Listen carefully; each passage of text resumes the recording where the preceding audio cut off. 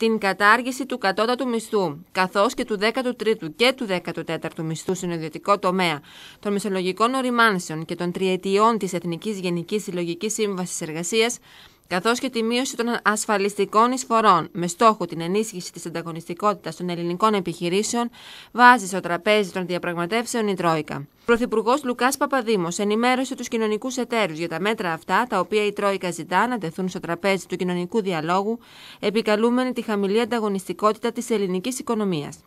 Η ΓΕΣΕ διαμήνυσε από την πλευρά της ότι δεν θα δεχθεί καμία αλλαγή στην Εθνική Γενική Συλλογική Σύμβαση, απορρίπτοντας έτσι τα μέτρα αυτά πλην των μειώσεων των ασφαλιστικών εισφορών.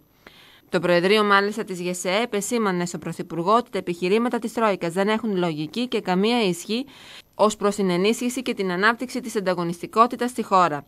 Ο Λουκάς Παπαδήμος απάντησε πως η πραγματικότητα μπορεί να ακούγεται σκληρή, αλλά δεν μπορεί να γίνει κάτι άλλο. Το απαιτούν οι δανειστές, είναι ένα σοβαρό πρόβλημα.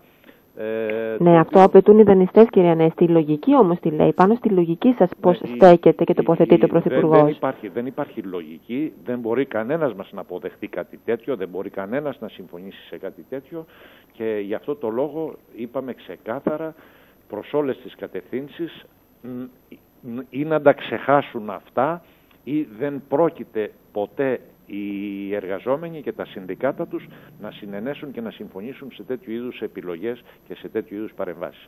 Πάμε σε ολομέτωπη σύγκρουση. Εάν δεν μπορούμε να διασφαλίσουμε τον μεικτό μισθό των 750 ευρώ, τότε δεν έχει νόημα να παραμείνουμε στην Ευρωζώνη, δήλωσε σήμερα σε ραδιοφωνικό σταθμό της Αθήνας ο πρόεδρος της ΓΕΣΕ Γιάννης Παναγόπουλος.